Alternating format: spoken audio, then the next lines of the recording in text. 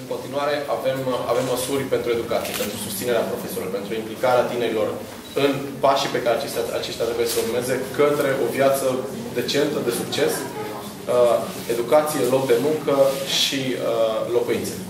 Programele sunt foarte ample, abia aștept să revin la Arad, vă spuneam și mai devreme, urmează în această toamnă o serie de întâlniri pe care le voi avea peste tot în țară, în fiecare oraș și ședință de județ, pentru a afla nevoile specifice ale fiecărui județ, astfel cum se raportează ele la programul de guvernare al USL. Sper ca în 2013, când vom intra pe programul nostru de guvernare, aceste set, acest set de măsuri să fie gata și să fie imediat aplicabile în fiecare județ. Sistemul de educație în România este într-o situație dezastroasă. Luați un exemplu de o măsură care ar putea să revoluționeze acest sistem atât de corpus. În primul rând, sistemul uh, educațional are o mare problemă. Profesorii sunt toți plătiți. Uh, în 2010, bugetarii au fost anunțați că urmează să li se taie salariile cu 25% pentru 6 luni. Suntem în 2012 și abia acum a trebuit să vină guvernul Ponta pentru a reîntregi salariile bugetarilor în cele două etape, iunie și decembrie 2012.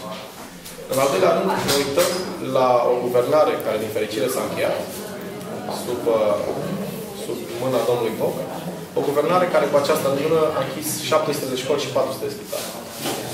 Este foarte greu să spui unor copii că de mâine nu mă la școală, să spui unor copii că de mâine trebuie să meargă pe jos, prin zăpadă, prin noroaie, zeci de kilometri ca să ajungă la școală.